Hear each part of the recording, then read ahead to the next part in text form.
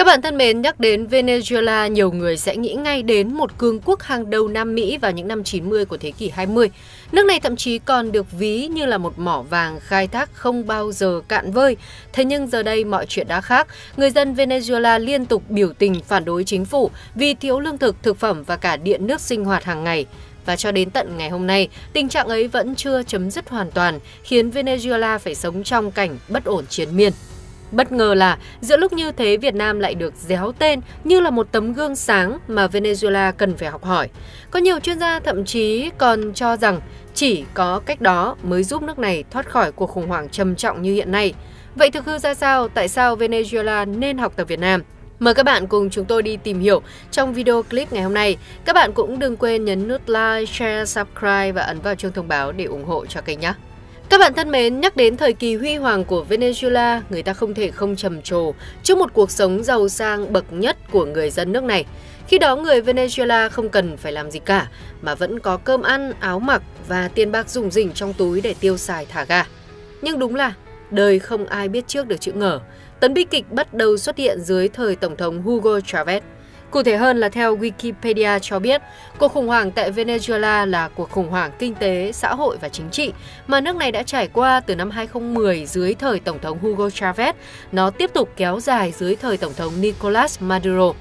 Có thể nói đây là cuộc khủng hoảng kinh tế tồi tệ nhất trong lịch sử Venezuela và là một trong những cuộc khủng hoảng tệ hại nhất đã từng xảy ra ở châu Mỹ và đây là kết quả không mong muốn của những người theo chính sách dân túy của cách mạng Bolivaria bắt đầu dưới thời chính quyền Chavez.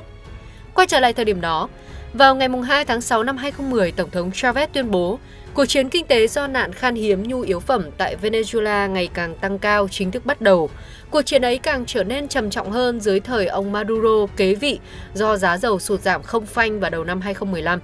Kéo theo đó là sự sụt giảm GDP quốc gia và GDP bình quân đầu người mất kiểm soát tại Venezuela từ 2013 đến 2017. Nó đã trở nên kinh khủng hơn rất nhiều so với Hoa Kỳ trong thời kỳ đại suy thoái hoặc của Nga, Cuba và Albania sau khi chủ nghĩa cộng sản sụp đổ. Thậm chí mà trong những năm gần đây, tỷ lệ lạm phát hàng năm của giá tiêu dùng tại Venezuela đã tăng tới hàng trăm, thậm chí là hàng ngàn phần trăm.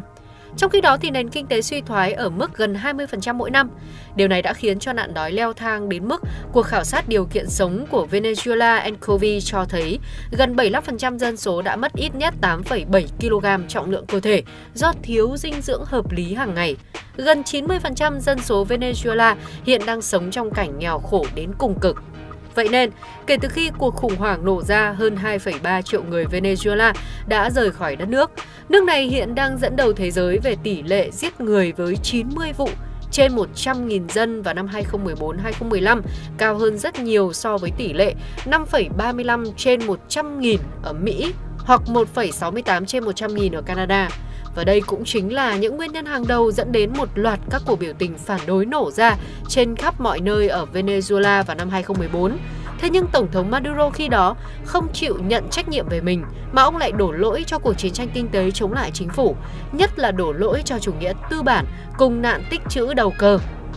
Điều này làm cho người dân phẫn nộ đến cùng cực khiến cho tình trạng biểu tình gia tăng, kéo theo đó là những cuộc đụng độ giữa người biểu tình và cảnh sát ngày càng trở nên khốc liệt, với nhiều người bị bắt, bị thương và tử vong. Tuy nhiên, ngọn lửa biểu tình vẫn âm ỉ bùng cháy tại Venezuela. Kết quả là vào tháng 1 năm 2017, các cuộc biểu tình lại tiếp tục bùng nổ khi chính phủ nước này bắt giữ nhiều nhà lãnh đạo phe đối lập và hủy bỏ cuộc đối thoại giữa phe đối lập với chính quyền của ông Nicolas Maduro.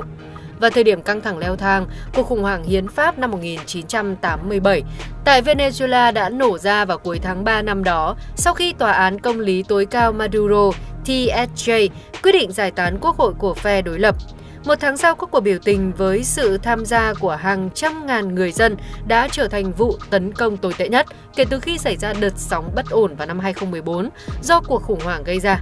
Nhưng mọi chuyện chưa dừng lại ở đó. Kể từ ngày 10 tháng 1 năm 2019, Venezuela lại trải qua một cuộc khủng hoảng tổng thống khác. Lý do là vì khi đó Tổng thống đương nhiệm Nicolas Maduro lại tái đắc cử làm Tổng thống Venezuela, nó đã vấp phải sự phản đối kịch liệt của một số tổ chức và chính phủ quốc gia. Vậy nên Quốc hội Venezuela đã đưa Juan Guaido lên làm Tổng thống lâm thời và lãnh đạo các cuộc biểu tình phản đối cuộc bầu cử của Maduro.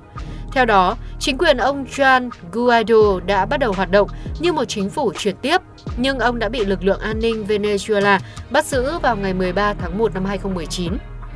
Khi xung đột leo thang, các cuộc biểu tình lớn và bạo lực đã nổ ra vào ngày 23 tháng 1 năm 2019. Nó đã phải nhận lấy những phản ứng trái chiều từ một số chính phủ và nhà lãnh đạo nước ngoài. Và cho đến tận hôm nay, tình hình kinh tế chính trị xã hội ở Venezuela vẫn chưa thực sự khả quan cho lắm. Điều này đã đặt nước này đứng trước nguy cơ đối mặt với cuộc khủng hoảng toàn diện trong thời gian tới đây. Đây là một tình cảnh hoàn toàn trái ngược với Việt Nam một quốc gia có xuất phát điểm rất khác với Venezuela khi phải đi lên từ sự nghèo nàn lạc hậu do hậu quả tàn khốc mà chiến tranh để lại. Nhưng rồi ở thời điểm hiện tại, Việt Nam lại sở hữu nền kinh tế có tốc độ phát triển đáng ngưỡng mộ. Qua đó từng bước khẳng định được vị trí vững chắc của mình trên trường quốc tế hiện nay. Tất cả là nhờ vào đường lối lãnh đạo đúng đắn của Đảng và chính phủ. Kết hợp với đó là sự đoàn kết một lòng và ý chí quyết tâm cao độ của quân dân Việt Nam. Chính vì thế mà trang tin Sputnik phiên bản Venezuela của Nga đã cho đăng tải một bài viết đáng chú ý có tiêu đề Bài học từ Việt Nam, bài học cho Venezuela, trong đó Sputnik đã đặt ra một câu hỏi đáng để suy ngẫm cho ông George Latera, nhà khoa học chính trị và chuyên gia nghiên cứu chiến tranh thế hệ thứ tư như sau. Thưa ông, Venezuela nên học tập điều gì từ quân đảng và nhân dân Việt Nam? Cụ thể hơn bài học đó là gì và Venezuela nên tránh những gì? Ông George Latra từ tốn đáp lời, tôi cho rằng về nguyên tắc không có mô hình nào có thể sao chép được vì mọi thứ phát triển theo các điều kiện chính trị và lịch sử, chi phối thời điểm hiện tượng phát triển, nhưng quả thật Việt Nam chính là một tấm gương sáng cho nhân loại và tôi tin rằng Venezuela đã rút ra được bài học từ Việt Nam cho mình. Minh chứng là chúng ta đã thấy được điều đó qua những nỗ lực của tư lệnh Chavez trong việc xây dựng liên minh quân sự dân sự một chiến lược mạnh mẽ cho phép mọi nỗ lực của quốc gia được kết hợp lại để bảo vệ một phần không thể thiếu của dân tộc. Mặt khác, tôi tin rằng Venezuela đã nhìn thấy được nhiệm vụ quan trọng đang chờ xử lý là phát triển nền kinh tế thời chiến, cũng như thấy được sự phụ thuộc của chúng ta vào nhập khẩu và hệ thống tài chính toàn cầu đã khiến chúng ta rất dễ bị tổn thương. Nó càng trở nên rõ ràng hơn khi chúng ta nhìn vào các lệnh trừng phạt từng được ông Trump áp đặt đối với công ty PDVSA theo đó, việc nỗ lực hướng tới nền kinh tế sản xuất sẽ là cơ sở quan trọng nhất để chống lại sự xâm lược của các thế lực bên ngoài. Vâng, đây đích thị là những gì mà Việt Nam đã từng trải qua. Trong cuộc chiến tranh Việt Nam, đất nước hình chữ S phải vừa sản xuất, vừa phải chiến đấu quyết liệt với đế quốc Mỹ, để rồi khi chiến tranh đi qua, Việt Nam lại tiếp tục đẩy mạnh sản xuất kết hợp với việc mở cửa nền kinh tế cho chính mình. Vậy nên nền kinh tế Việt Nam không dễ bị tổn thương như Venezuela. Tình hình chính trị và xã hội của Việt Nam cũng ổn định hơn rất nhiều so với nước này hiện nay. Có lẽ là nhìn thấy được điều đó cho nên các nhà cầm quyền của Venezuela đã từng bước đầu tư cho sản xuất trong nước để thoát khỏi sự phụ thuộc vào nhập khẩu, đồng thời đẩy mạnh phát triển các ngành công nghiệp trọng yếu nhằm đa dạng hóa nguồn thu chứ không chỉ dựa vào nguồn thu từ việc xuất khẩu dầu mỏ như trước đây. Và điều quan trọng hơn là Venezuela cũng đã đề cao khối liên minh quân sự và nhân dân giống như Việt Nam và đây là một nền tảng quan trọng giúp nước nhà tạo ra sức mạnh tổng thể để đối đầu với mọi khó khăn thử thách và kẻ thù xung quanh. Hy vọng rằng với đường lối đúng đắn trên, Venezuela sẽ dần dần thoát khỏi cục diện như hiện tại, từ đó nhanh chóng ổn định tình hình nước nhà và phát triển đi lên.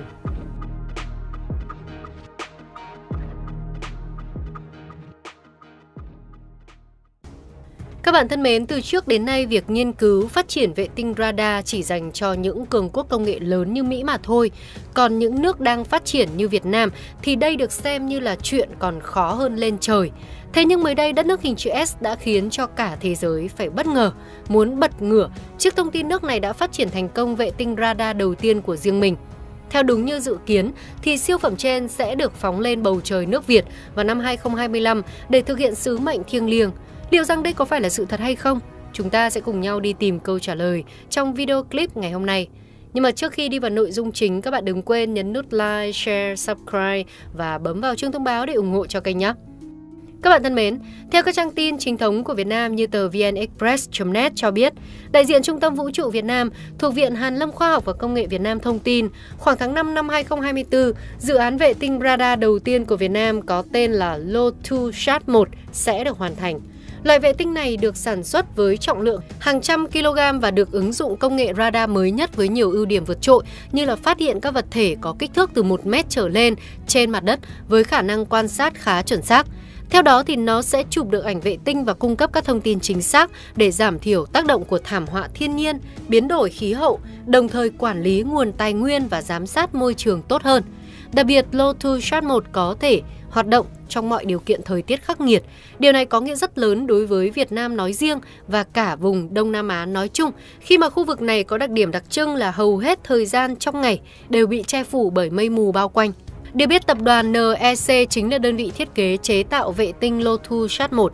và đào tạo nhân lực cho Việt Nam tại Nhật Bản. Việc đào tạo nhân lực này được thực hiện nhằm mục đích chuyển giao công nghệ chế tạo, vận hành và ứng dụng ảnh vệ tinh trong tương lai tới đây.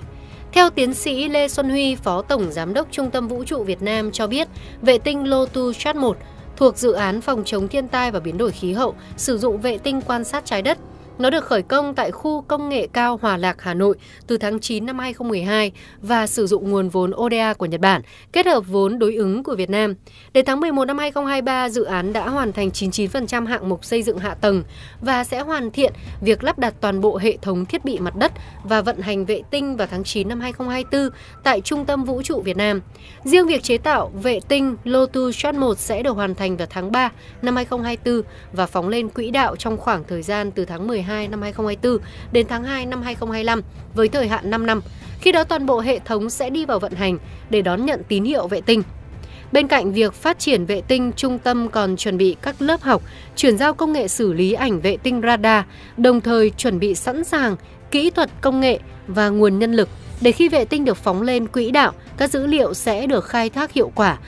nhằm phục vụ tốt cho các đơn vị ứng dụng data hình ảnh trong tương lai. Cụ thể hơn là để khai thác tối đa các tính năng của Lotus Chat 1, hồi tháng 11 năm 2023, giáo sư viện sĩ Châu Văn Minh, Chủ tịch Viện Hàn lâm Khoa học và Công nghệ Việt Nam VAS và giáo sư Yamakawa Hiroshi, Chủ tịch Cơ quan Hàng không Vũ trụ Nhật Bản JAXA đã ký thỏa thuận tiến hành nghiên cứu khả thi trong hợp tác khoa học thuộc lĩnh vực công nghệ vũ trụ. Theo hợp tác trên thì hai bên sẽ chia sẻ các kinh nghiệm vận hành, khai thác vệ tinh Lotu Chat 1 trên quỹ đạo và kinh nghiệm vận hành Trung tâm Vũ trụ Việt Nam nhằm tìm ra phương án chia sẻ dữ liệu ảnh vệ tinh được thu phát từ xa. Như vậy có thể nói chuyện Việt Nam nghiên cứu và phát triển ra loại vệ tinh radar đầu tiên để phóng lên quỹ đạo là có thật 100%. Đó là kết quả của rất nhiều nỗ lực hợp tác giữa hai phía Việt Nam và Nhật Bản suốt nhiều năm qua. Riêng đối với Việt Nam, đây là một tin tức rất đáng vui mừng, vì như chúng ta cũng biết là Việt Nam hàng năm đều phải chịu tác động từ các cơn bão nhiệt đới có thể gây nguy hiểm đến tính mạng và tài sản của người dân trên diện rộng.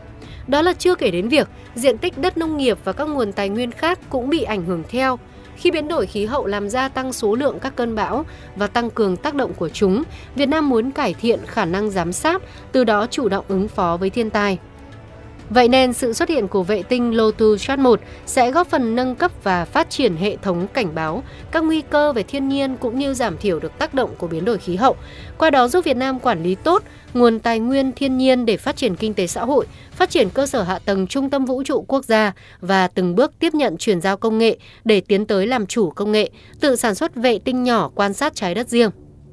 Điều này càng trở nên khả thi hơn nữa khi chúng ta so sánh Lotus Chat 1 với các vệ tinh mà Việt Nam từng phóng thành công trước đó. Cụ thể ra sao? Chúng ta cần quay lại thời điểm cách đây gần 20 năm, tức là vào năm 2006, khi Việt Nam cho xây dựng chiến lược phát triển không gian. Chỉ 2 năm sau đó, tức là vào năm 2008, Việt Nam đã phóng vệ tinh đầu tiên hay vệ tinh viễn thông Vinasat 1 lên quỹ đạo. Đến năm 2011, đất nước hình chữ S tiếp tục khánh thành Trung tâm Vệ tinh Quốc gia Việt Nam trực thuộc Viện Hàn lâm Khoa học và Công nghệ Việt Nam VAT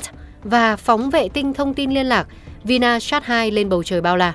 Đến năm 2013, vệ tinh quan sát trái đất VNRESAT 1 đã bắt đầu sứ mệnh theo dõi tác động của biến đổi khí hậu và giảm thiểu thiên tai. Dữ liệu đã được sử dụng cả trong nước và hợp tác khoa học quốc tế với nhiều nước khác nhau. Giống như VNRESAT 1, vệ tinh Lotus 1 được thiết kế nhằm mục đích giúp Việt Nam ứng phó với thiên tai và sự biến đổi của khí hậu.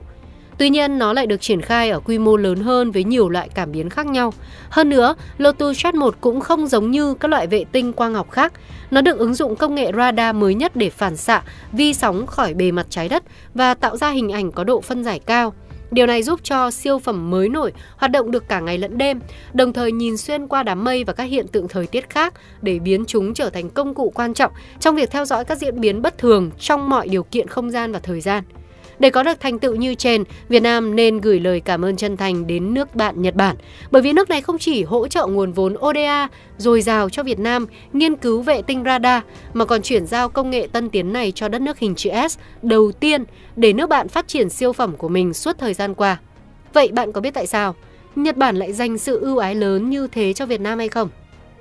Rất đơn giản, là vì mối quan hệ hai nước Việt Nhật và đang phát triển theo một chiều hướng vô cùng tốt đẹp suốt nhiều năm qua. Nhật Bản luôn xem Việt Nam như một đối tác đáng tin cậy, có cùng chung chí hướng với mình trong nhiều lĩnh vực khác nhau. Vậy nên chính phủ Nhật Bản đã rất hồ hởi cùng Việt Nam nâng cấp mối quan hệ Việt Nhật lên hàng cao nhất là đối tác chiến lược toàn diện nhằm đẩy mạnh hơn nữa các chương trình hợp tác chuyên sâu, trong đó bao gồm cả chương trình nghiên cứu và phát triển công nghệ cao. Còn về phía Việt Nam, Phó Tổng Giám đốc Trung tâm Vũ trụ Việt Nam VNSC cho biết lý do khiến VNSC quyết định lựa chọn Nhật Bản làm đối tác cho mình là vì lịch sử hợp tác khoa học tốt đẹp giữa hai nước. Việt Nam tin tưởng rằng nước bạn sẽ hỗ trợ mình hết mức có thể để cho ra đời những sản phẩm công nghệ tiên tiến có 102. Đáp lại sự kỳ vọng đó, Nhật Bản quả thật đã không làm cho Việt Nam thất vọng. Vậy nên ngoài dự án vệ tinh Lotus Shot 1 ra, hai nước Việt Nhật còn có mối quan hệ hợp tác chặt chẽ về lĩnh vực phát triển không gian trong 17 năm liền, thông qua JAXA, cơ quan nghiên cứu và phát triển hàng không vũ trụ Nhật Bản, có lịch sử hình thành hơn 20 năm qua. Hy vọng rằng trong tương lai tới đây, Việt Nam và Nhật Bản sẽ tiếp tục phát triển thêm nhiều dự án công nghệ cao có ý nghĩa chiến lược quốc gia như là Lotus Chat 1, đồng thời thắt chặt hơn nữa mối quan hệ hữu nghị hợp tác cùng với các chương trình phát triển đa phương, đa chiều mang đến lợi ích lớn cho cả hai quốc gia.